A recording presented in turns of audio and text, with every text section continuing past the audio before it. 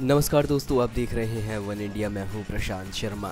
इस साल हुए टोक्यो ओलंपिक्स में भारत का प्रदर्शन कमाल का रहा है। इस साल भारत ने अपने ओलंपिक इतिहास में सबसे ज़्यादा सात पदक जीतकर इतिहास रचा था।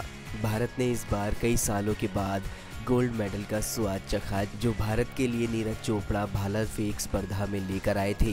हालाँकि टोक्यो ओलंपिक्स को खत्म हुए आज पूरा एक महीना हो गया है, मगर भारत में इसका जश्न अभी तक जारी है। अब पंजाब के मुख्यमंत्री कैप्टन अमरिंदर सिंह ने भी इस जश्न का हिस्सा बनने का फैसला किया है। अमरिंदर सिंह एक बार फिर से शेफ की टोपी पहनने वाले हैं। कैप्टन अमरिंदर सिंह ने पंजाब के टोक्यो ओलंपिक पदक विजेताओं की मेज़बानी करते हुए उनके लिए खाना बनाने का वादा किया था। बुधवार को वो मोहाली में अपने फार्म हाउस मोहिंदर बाग में उनकी मेज़बानी करेंगे।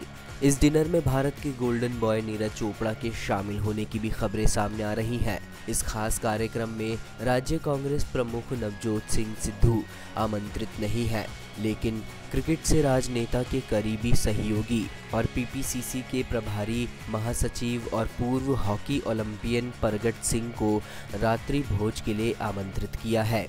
सीएम के मीडिया सलाहकार रवीन ठुकराल ने ट्वीट में कहा, पटियाला के व्यंजनों से लेकर पुलाव, भेड़ का बच्चा, चिकन, आलू और जर्दा चावल तक CM captain Amarinder Punjab Olympic पदक विजेताओं और नीरज चोपड़ा के लिए कल, यानी कि बुधवार रात के खाने में अपना वादा निभाने के लिए इनमें प्रत्येक व्यंजन खुद तैयार करेंगे।